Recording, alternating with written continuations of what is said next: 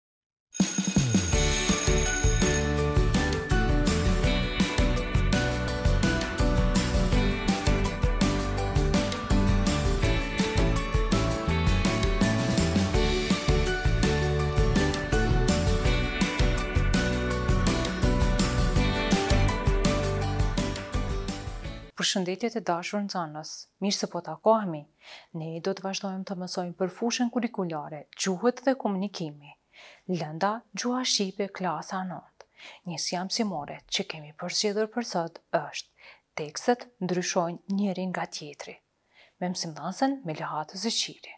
Të dashur nxënës, njësinë mësimore tekstet ndryshojnë nga njëri tjetri, ju mund ta gjeni në librin e gjuhës shqipe klasa 9, faqe 78. Së bashku do t'i vështrojmë disa tregime që i kemi te pjesa vështrojmë, si E bija e mbretit nga Faik Konica, klithma nga Anton Pashku, Naim Frashëri nga letërsia shqipe për shkollat e mesme, kënga e sprasme e Balës nga letërsia shqipe për shkollat e mesme. Pra, e bija mbretit, ishte një mbret, ishte një mbretëreshë. Kishin një vajzë të vetme, dhe vajza ishte e bukur dhe e mençur, dhe aq e gëzuar, sa qeshte ditë për ditë. Po një ditë, vdiq mbretëresha dhe princeshës i u vrenjt pak buza. Një natë, vdiq mbreti dhe princeshës iu pre gazi dhe pak kohë më pas ra zjarri në pallat dhe e dogji dhe princesha e mbetur e varfër dhe e vetme ndieu për të parën herë trishtimin me zemër të fryrë nga psherëtimat e bija e mbretit u vesh si fshatare mori një stap në dorë dhe doli nga dheu i t'et duke qarë Loti i parë që derdhi, mbiu dhe menjëherë doli një rrënjë trëndafili. Një ditë, princesha, e lodhur dhe e trishtuar, më tepër se ditët e tjera, arriti në qytet të Ispahanit, në Persi. Atje qëndroi në një gur dhe qau tri ditë. Prandaj, Ispahani është qyteti ku janë trëndafilat më të bukur të botës.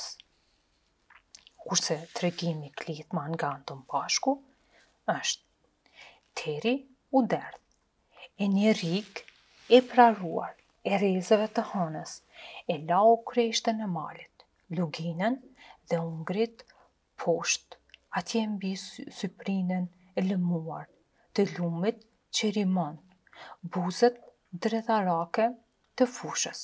Çdo gjë është lidhur e shtrënguar mirë e mirë nga penjtë e qetësisë, nga penjtë e kësaj heshtjeje, e cila është e rëndë, e palëvizshme, edhe qyqja hesht. E lart, atje lart, nëpër hapësirën e kupës së qiellit, një yll noton duke lënë mbas vetes një hark të gjatë vezullues.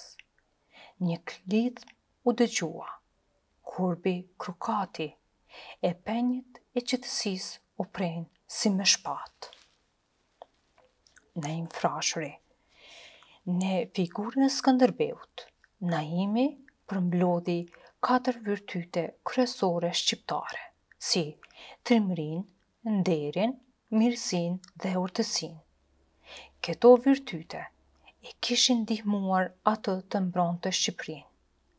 Po ndërkohë si poet romantik, Naimi i veshi Skënderbeut edhe cilësitë e humanizmit evropian.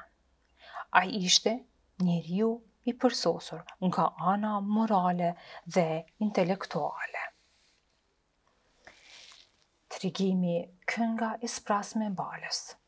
Ndikimi i poezisë popullore në këtë vepër është shumë i madh, Dara merr nga poezia popullore heronjët kryesorë si Nik Petën dhe Pal Golemin, mjaft veçori të figurës së Skënderbeut dhe asaj të Ballabanit, ndërthur në veprën e tij shumë motive nga poezia popullore arbëreshe, si Ndarja e dy të dashurve, që të kujton legjendën e Kostandinit, Rrëmbimi i vajzës nga qeni turk, Shkëmbimi i unazës midis bashkëshortëve kur burri niset për luftë, Amaneti i trimit kur vdes në luftë, Që e shoqja të martohet, vdekja e përnjëhershme e dy njerëzve shumë të afërt dhe mbirja e një peme mbi varrin e tyre.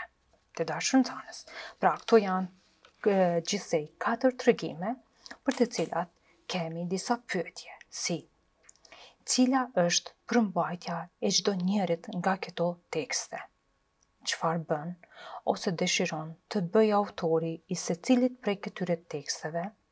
Të tregojë, të përshkruajë, të shpjegojë ose të argumentojë diçka. Pra, tekstet ndryshojnë në varësi të synimit që kanë, si të tregojnë, të përshkruajnë, të shpjegojnë ose të argumentojnë diçka. Pra, tekstet mund të jenë treguese, përshkruese, argumentuese. Tekstet treguese.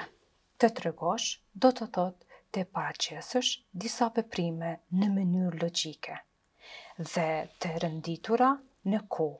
Ato mund të kryhen nga njerëz ose kafshë që veprojnë si njerëz. Në këtë rast kemi tregimin E bija e Mbretit nga Faik Konica.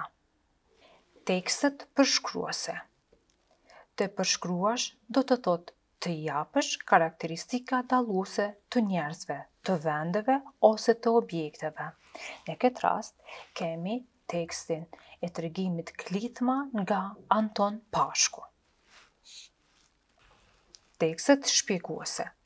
Të shpjegosh do të thotë të japësh një të dhënë ose të sqarosh një problem ose një pyetje duke vendosur lidhje shkaku dhe pasoja ndërmjet fakteve dhe ngjarjeve, po edhe duke dhënë shembuj.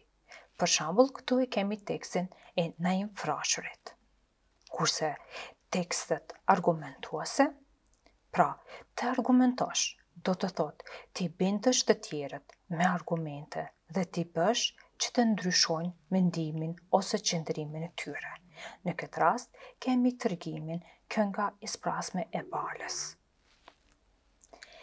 Një tekst mund të përmbajë disa tipa tekstesh, pra, tekstet ndryshojnë në varësi të synimit që kanë, të tregojnë, të përshkruajnë, të shpjegojnë ose të argumentojnë diçka.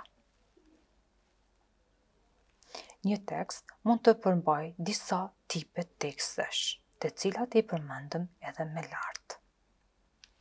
Të dashur nxënës, për detyrë shtëpie ne e kemi përzgjedhur pjesën e ushtrimeve, faqe të 10 e 1.